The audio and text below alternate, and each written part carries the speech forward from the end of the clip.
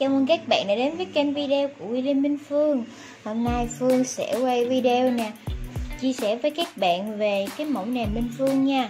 Cái mẫu nền này thì bao cứng luôn nè, Dán keo nhiều, cỡ nào cũng không bao giờ mà gãy hoặc cong nha, Các bạn có thể xem. Nó rất là dày.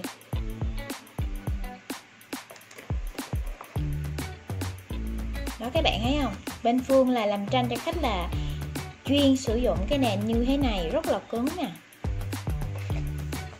cái nền mà Phương đang quay cho các bạn xem là size A3 kích thước là 30 x 40 cm nè.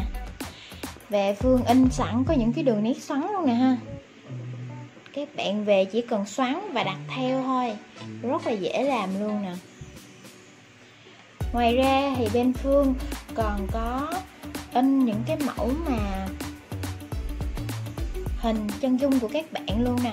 Rất là rõ nét chỉ cần hình rõ là phương in ra sẽ rõ nha.